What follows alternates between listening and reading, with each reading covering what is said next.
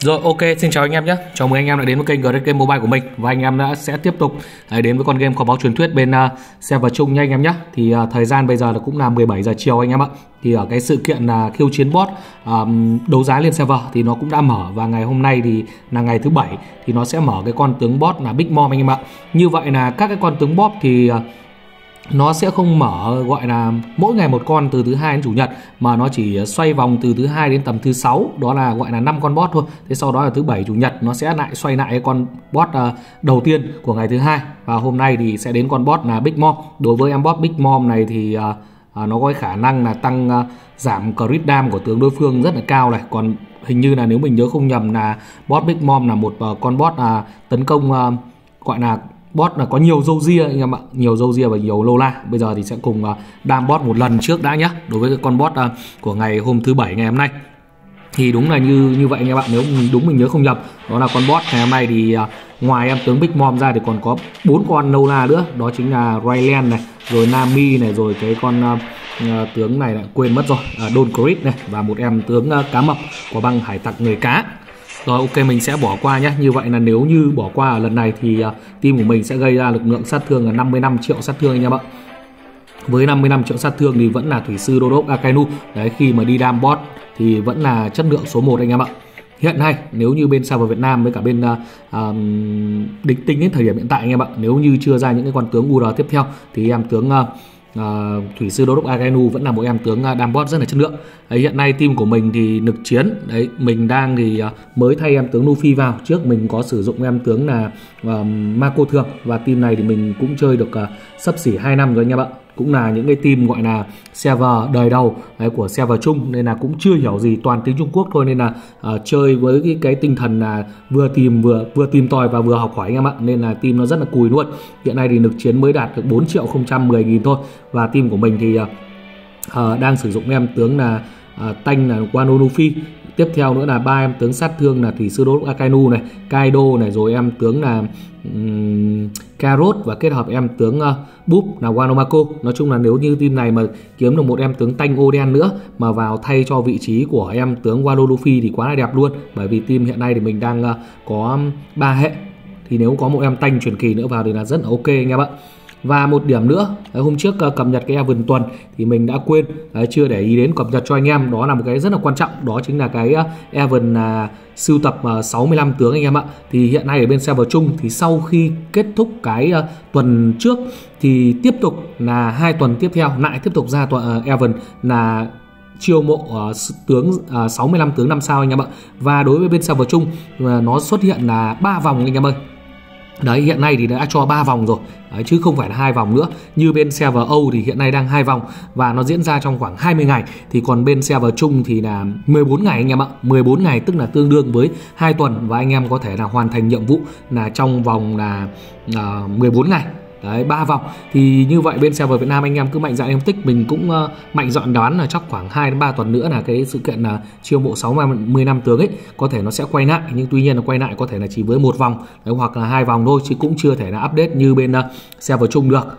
Rồi ok bây giờ thì sẽ cùng uh, đến với cái nội dung chính của video ngày hôm nay. Thì ngày video ngày hôm nay thì sẽ gửi tới anh em một cái số trận uh, PK đấy, khá là ok đến từ team của mình. Và bên server chung thì cũng mới lại tiếp tục là tiến hành gộp server tiếp anh em ạ. Nên là cái server của mình hiện nay đang gộp với một xe một vài cái server nữa.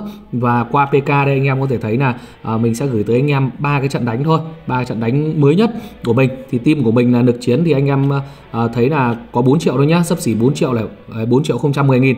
Và trận đấu đầu tiên đấy mình gửi tới anh em là trận đấu à, đây trên cùng này luôn. Team của bạn ý lực chiến là 4 triệu 647 nghìn. Như vậy là hơn team của mình là 600 nghìn lực chiến. Nhưng tuy nhiên team này thì không sử dụng búp. Đấy, Không sử dụng búp. Ngoài ra team này thì cũng sử dụng ba hệ đấy, như của mình Nhưng không có tướng truyền kỳ. Nên đây là một cái điểm khá là khó. Tức là không có búp hệ Nên là chỉ có ba cái hệ Tứ Hoàng bao gồm là Big Mom, Kaido và Katakuri thì có cái bonus hệ thôi thì giống như của mình thôi. Bạn này thì hiện nay đang ở à, cùng với bang của mình. Đấy, lực chiến hơn mình 600 nghìn. Bây giờ thì sẽ cùng uh, xem cái trận đánh đầu tiên nhá anh em nhé để xem các cái con tướng của mình nó thể hiện như thế nào. Đấy, team của mình thì rất là may, may mắn là trội hơn so với các bạn ý là team của mình là có em tướng Whoop Wanomako bởi vì là cái dương tướng UR thì mình tích được. Đấy, mình thì mình cũng xác định là tích dương tướng UR đấy để lấy em tướng Carrot nhưng mà thật sự là cũng không ngờ đến là nhà phát hành game bên ờ, Trung Quốc lại có thể cho con tướng là Wanomako để vào trong cái dương tự chọn tướng UR anh em ạ.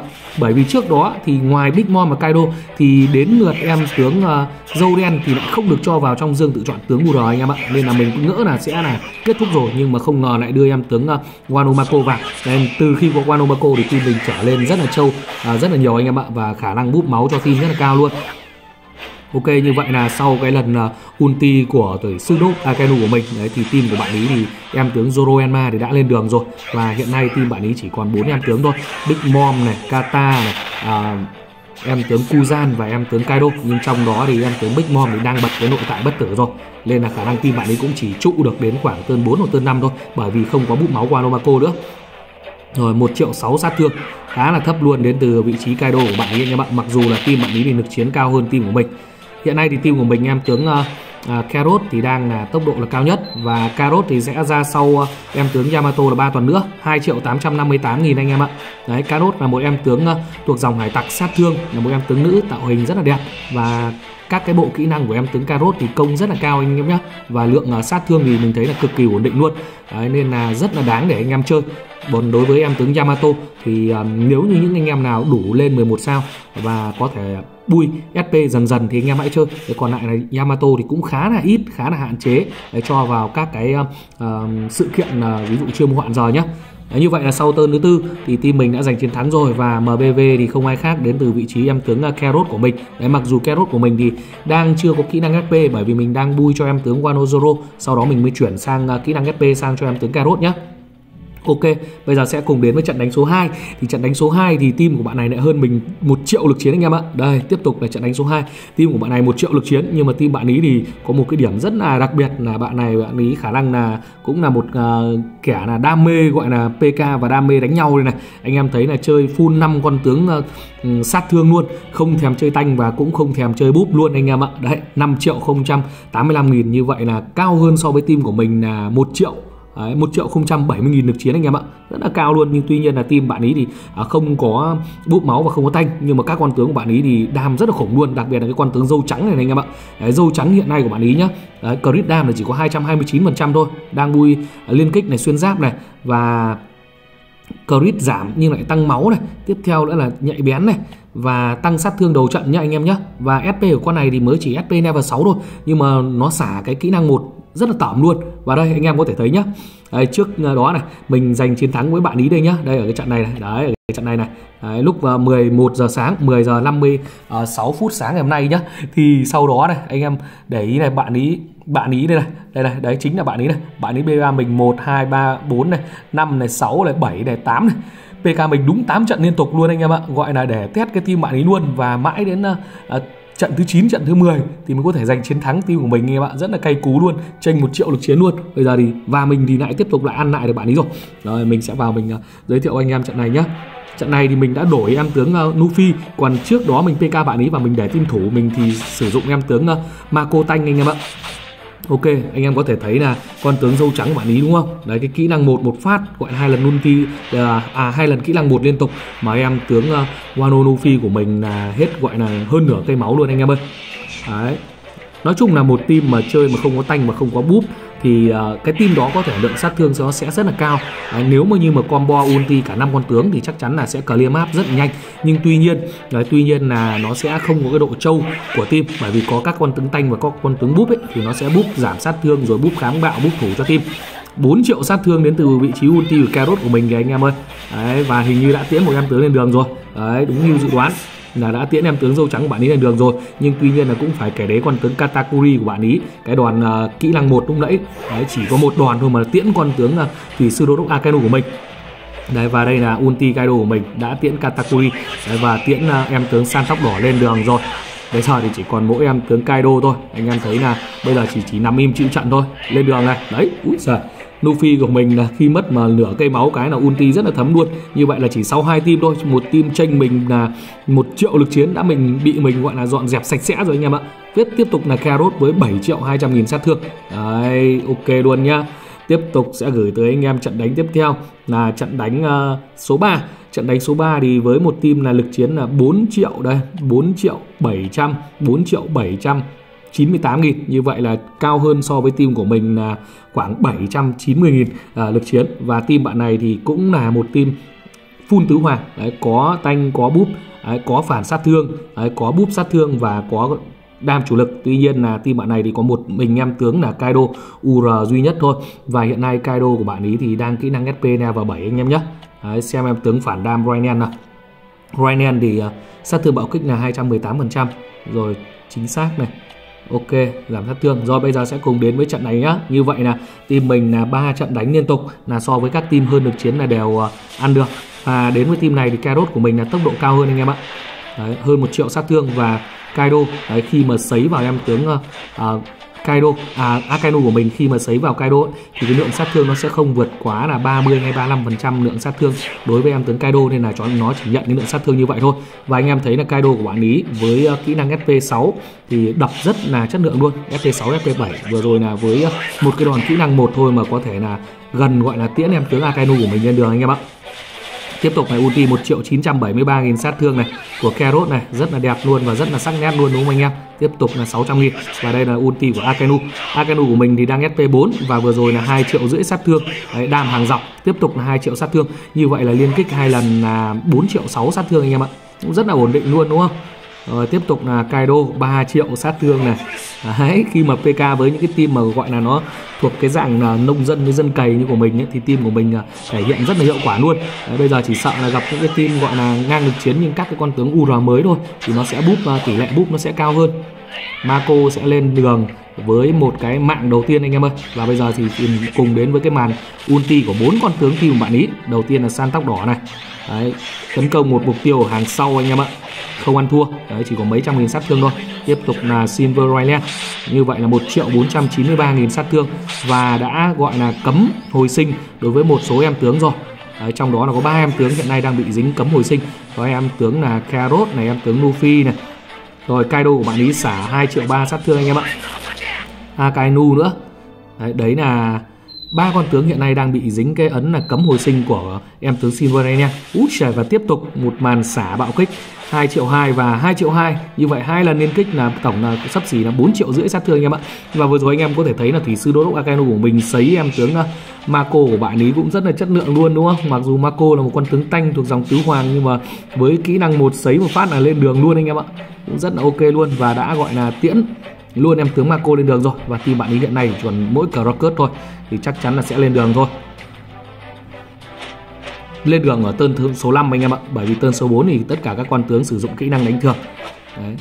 cái con hắc này server này thì mình cũng chơi uh, uh, từ giai đoạn đời đầu nên là cũng uh, chả hiểu gì anh em ạ. Còn chả nhiều lúc còn không dùng cái phần mềm dịch để dịch các cái kỹ năng rồi dịch các cái uh, thuộc tính đâu. Gọi là thích cái gì thì bui cái đấy. Ví dụ như khảm đá ấy, thấy cái đá nào có sao cao ấy đấy thì là khảm cái đá ấy vào. Nhưng thực tế là cũng không biết là đá nào tướng nào lên cảm uh, lên khảm cái nào anh em ạ đây là trận đấu số 3 trận đấu số 3 thì Akainu của mình sau khi không chết ấy thì cái lượng sát thương gây ra là 11 triệu MPV và Carrot của mình thì à, với 8 triệu rưỡi anh em ạ.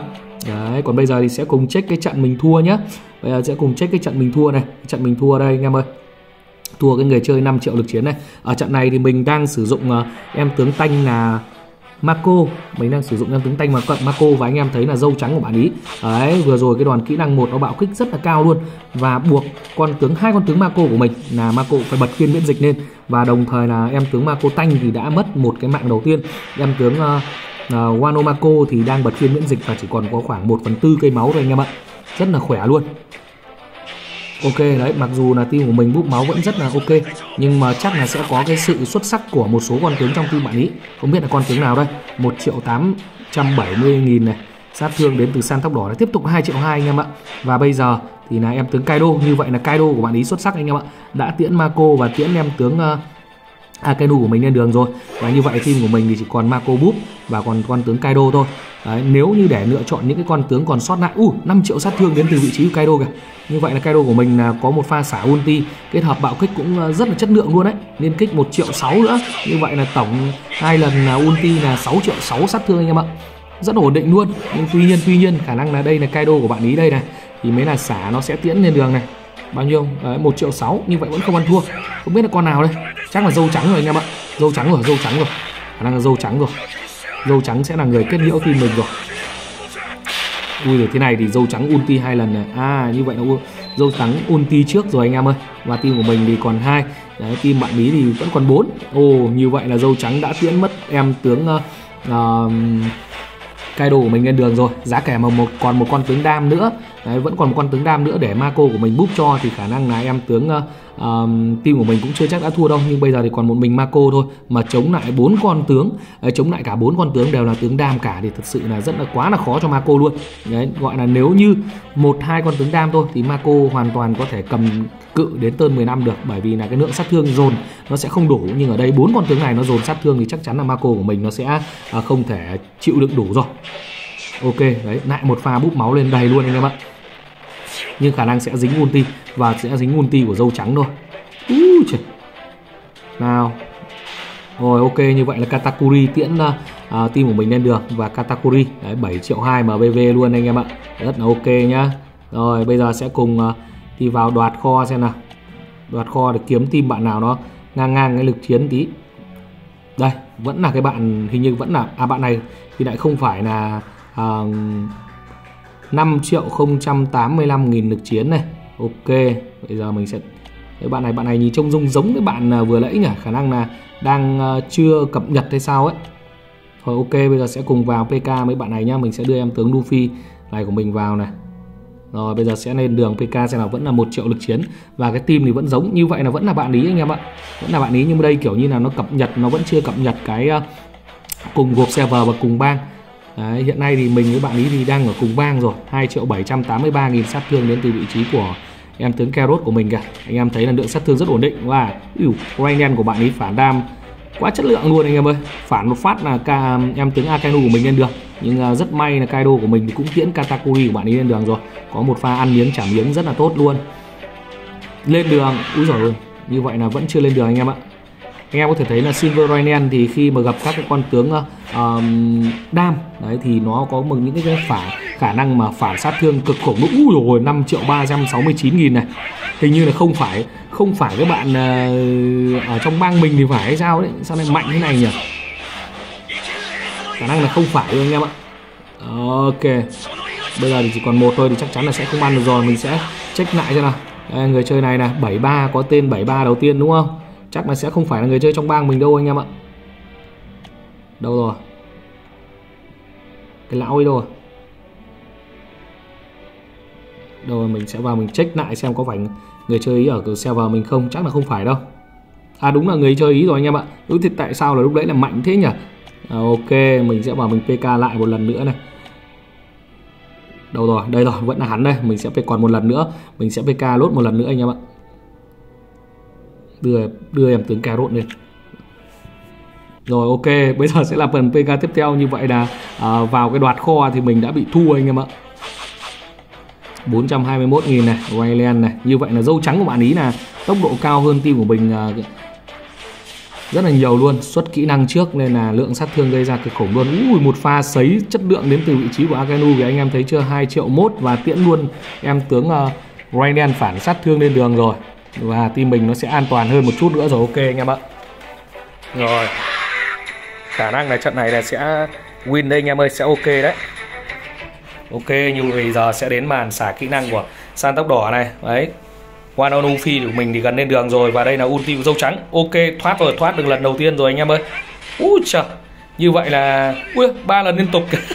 Anh em có thể thấy là ba lần ulti liên tục đến từ vị trí của dâu trắng cả là nếu như những em tướng khác thì chỉ có hai lần ulti thôi, thì em tướng dâu trắng có khả năng xả đến 3 lần anh em ạ. Vừa là ở trong kỹ năng của nó là liên kích này, và sau khi sử dụng kỹ năng mà nếu mà tiêu diệt được tướng đối phương thì sẽ lại sử dụng một đòn ulti nữa. Nên là dâu trắng là một em tướng đặc biệt trong con game này đấy sử dụng được ba lần ulti liên tục anh em ạ. Rất là chất lượng luôn. Tí nữa thì mình đi luôn em tướng carrot anh em ạ. Nhưng mà rất may là carrot của mình thì vẫn còn sống sót rồi ông san tóc đỏ thì sẽ dính multi của em tướng ờ, Wanomako và sẽ lên đường thôi anh em ơi. Đấy, hồi 1 triệu 376 nghìn này. Lên đường lên đường. Rồi ngày mai thì mình sẽ cố gắng mình dành thời gian để mình gửi tới anh em một cái video uh, về cái uh, bảng xếp hạng của các em tướng mà mình tổng hợp. Đấy, lấy được từ bên uh, server Âu các bạn đi tổng hợp nha anh em nhé để anh em có thể lựa chọn. Đấy, danh sách các em tướng chơi từ tướng thường đến tướng UR một cách uh, um, chất lượng nhất nha anh em nhé để anh em lựa chọn uh, cẩn thận nhé và trận đấu cuối cùng thì uh, Carrot của mình đây đã giành chiến thắng rồi với 7 triệu 882 nghìn. Như vậy thì anh em có thể thấy là Carrot uh, là một em tướng lượng sắt đam rất là ổn định luôn. Đấy mặc dù là trong team của mình thì Carrot không phải là em tướng uh, có SP cao. Hiện nay đây Carrot chưa có SP gì mà Thủy sư đố Gagenu đây còn đang có SP 4 cơ. Đấy Kaido, Kaido thì SP 2 Đấy anh em ạ. Và công của Kaido thì 100 nghìn nhá. Công của Carrot cũng 100 nghìn, 02 nghìn này. Đấy, 105 này. Như vậy là Carrot của mình công nó còn thấp hơn cơ. Rồi ok xin chào anh em nhé